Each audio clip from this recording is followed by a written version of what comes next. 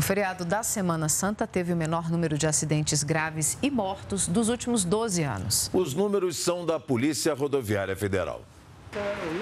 A Operação Semana Santa da Polícia Rodoviária Federal terminou à meia-noite de ontem, comemorando a redução no número de acidentes, acidentes graves e também de mortes nas rodovias federais. De acordo com os números preliminares, foram registrados 759 acidentes, com 962 feridos e 50 mortos.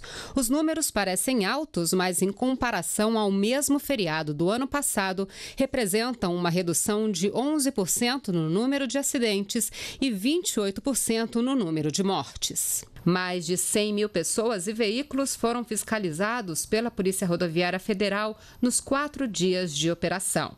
Ultrapassagem irregular e excesso de velocidade foram as condutas mais registradas.